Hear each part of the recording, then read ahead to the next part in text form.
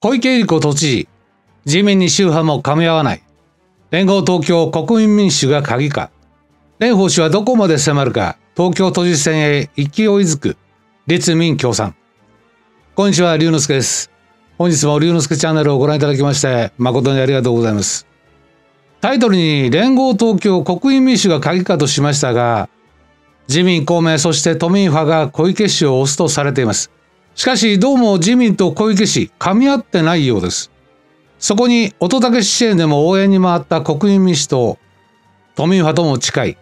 連合東京国民民主の動きも気になります。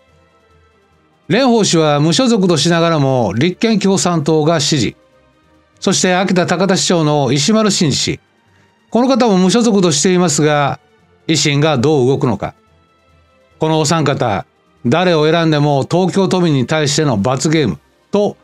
前回の動画で申しましたが本当にまともな候補者がいない。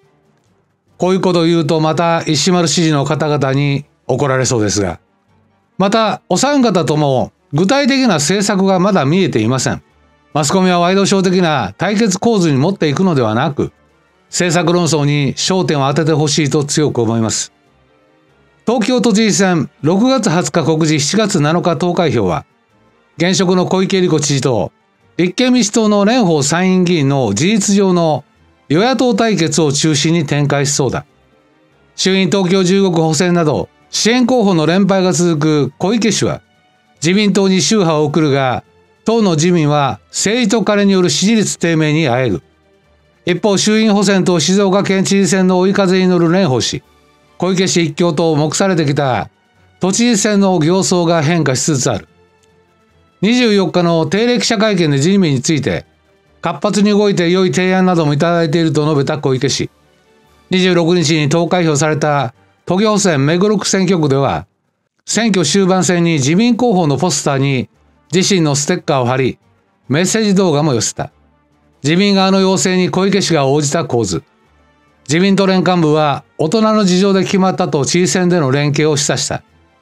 そこには小池氏の焦りが見える。昨週から江東区長選、八王子市長選と支援候補が連勝したが、4月の目黒区長選、衆院補選に敗北。違いは江東八王子とも自公との共闘があったことだ。さらに自民と組んだ都議補選目黒区選挙区も落とし、知事選を前に小池氏の歯車は噛み合わない。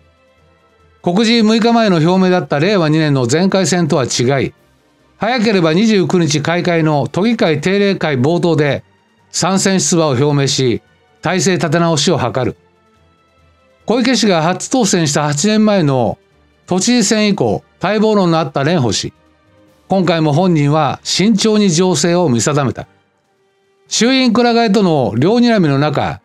衆院補選前哨や静岡県知事選、都議補選目黒区選挙区の結果を踏まえ決断に至った。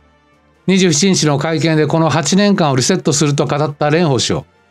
小池氏側近は手強い相手が出てきたと警戒する。ただ蓮舫氏は令和4年参院選東京選挙区で4位と、以前ほど集票力がないとの指摘もある。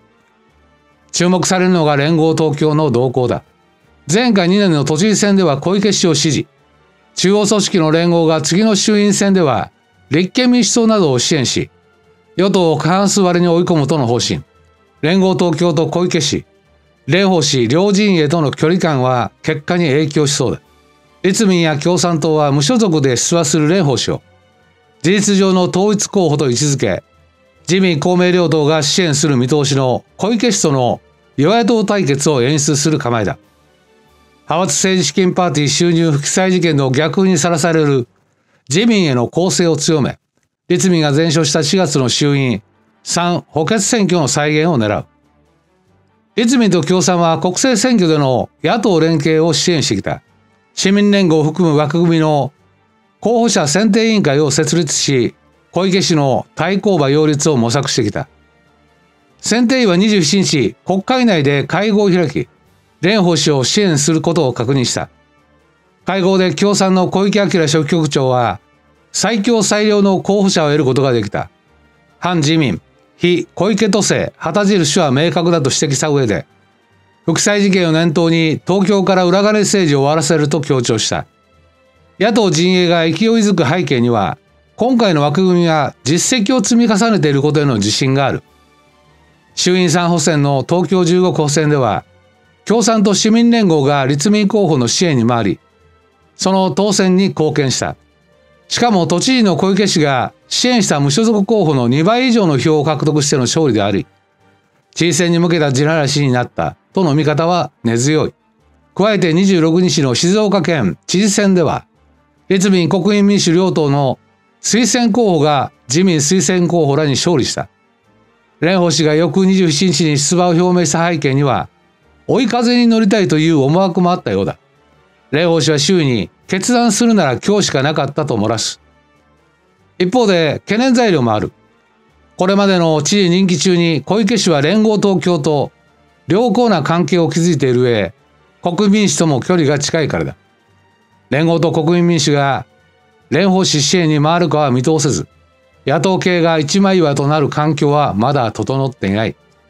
今回引用させていただきました記事 URL は動画詳細欄に記載していますので、ぜひご参照ください。さて、今回の動画、ご視聴いただきました皆様いかが思われましたでしょうか？ぜひご意見、コメントをお寄せください。そして、チャンネル登録はお済みでない方は、ぜひ、チャンネル登録をよろしくお願いします。それでは、また次回。